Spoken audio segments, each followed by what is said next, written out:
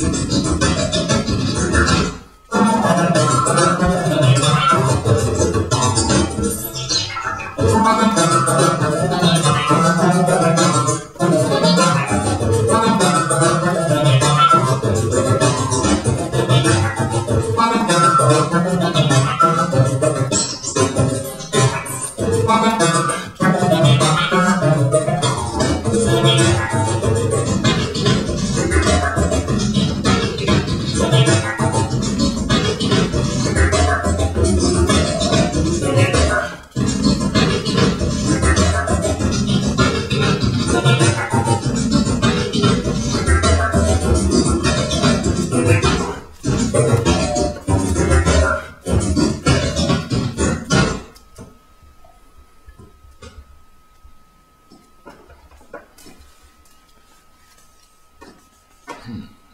work.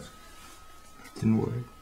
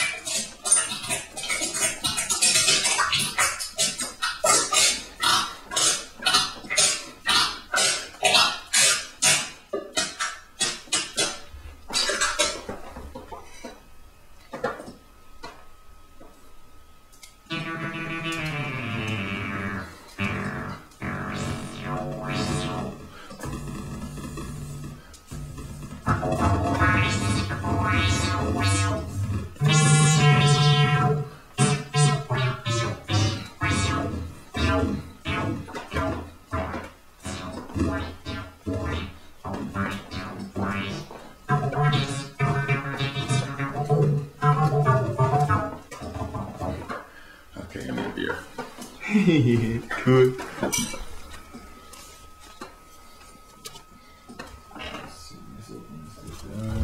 Can you open the glasses again? Uh, I think I just take it up. Ah.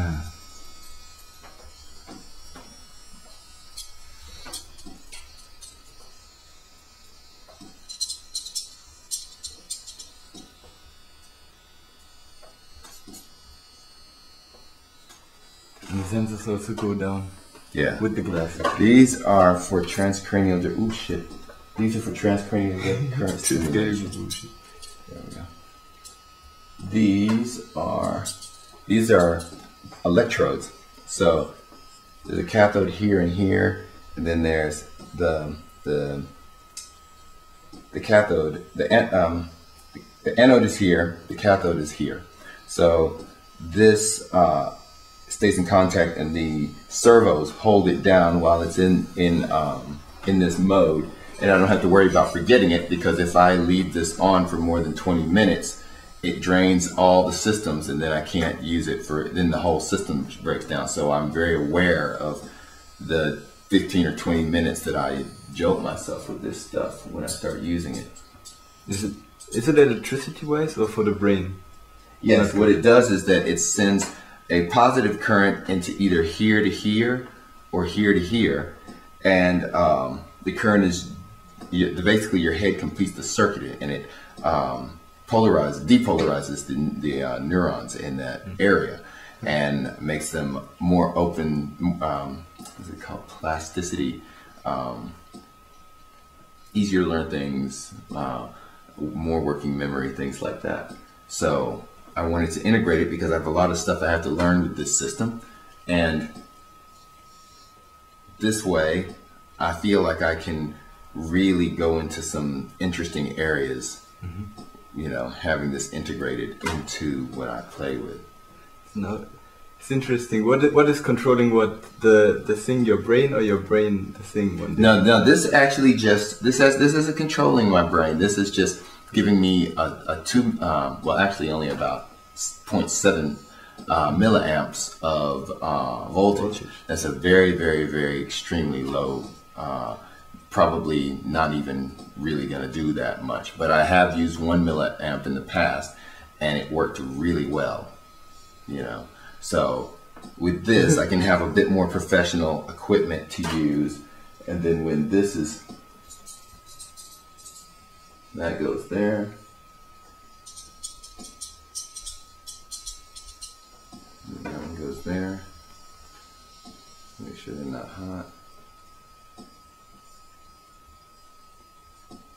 Are you, are you gonna make the light which is warning you how much voltage comes and if it's too much it will break? Well, I, I mean, I have to learn how to do that first. I don't actually, I don't actually know how to do that yet. I mean, I'm, I'm learning. And so, because I don't have a voltage meter on here already, I would love to have a voltage meter uh, uh, so that I can see when the battery's going dead. So if I can incorporate that, that would be even better.